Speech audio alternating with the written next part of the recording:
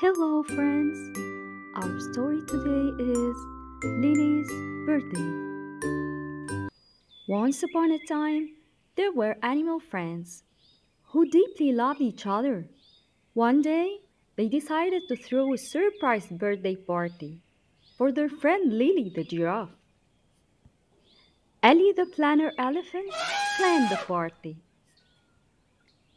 Leo the generous lion collected yummy fruits.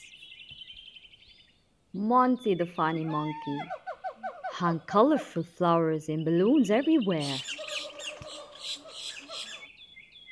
Rena, the cute rabbit, made a big cake. Happy birthday! On Lili's birthday, she walked into a clearing and all her friends shouted, Surprise!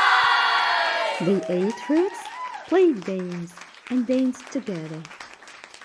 Nini said, This is the best birthday ever because of my wonderful friends. She felt so happy and loved. Thanks for watching and join us for more.